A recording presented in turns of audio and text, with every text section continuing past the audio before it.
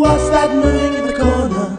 What's that shadow on the wall? Don't be afraid, don't be scared, it's really nothing at all. But I saw something in the corner, I saw that shadow on the wall. It's just your imagination, it's just the wise old owl.